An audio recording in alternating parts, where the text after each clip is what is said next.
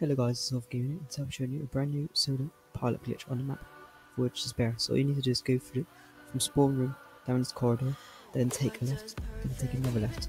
After that, all you need to do is do a run and jump to the spot on this table, or it'll sink from five distance away. So you can do it from there, or you can do it from back there, or from the there in the video. So from here, you god mode from all zombies. I don't know from the bottom, you have to set yourself, but you can collect all piles and you can go through rounds fast. So I hope you enjoy this video and I'll see you next time. Bye.